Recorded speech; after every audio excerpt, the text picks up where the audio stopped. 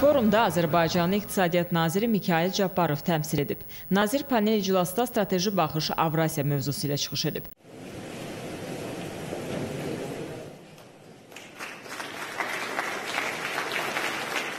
...2020-ci ildən sonra ilk dəfə fəaliyyətə başlayan Davos İqtisadi Forumunda iştirak həm ənənəvi, həm də onlayn yolla mümkündür.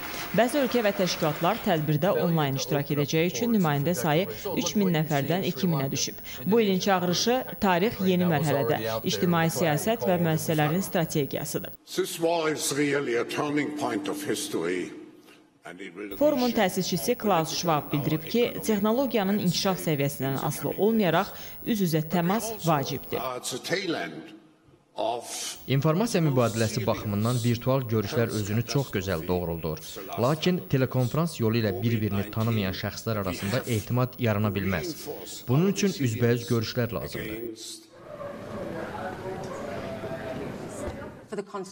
Bu forumun müzakirə mövzuları koronavirus pandemiyası, Ukrayna böhranı, alternativ enerji məsələləridir.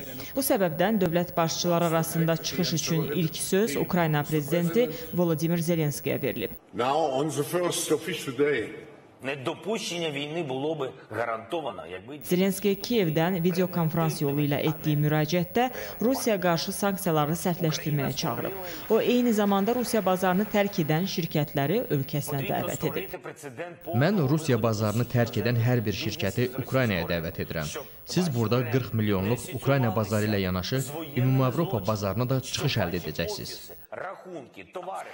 Zelenski Kiyevdə olsa da tədbirə Ukraynadan 10 nəfərlik nümayində heyəti gedib.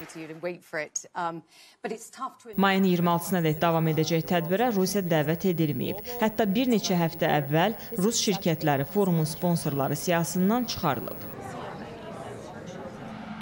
Vüqar Ələsgərov, Könül Məmmədova, ASTV xəbər.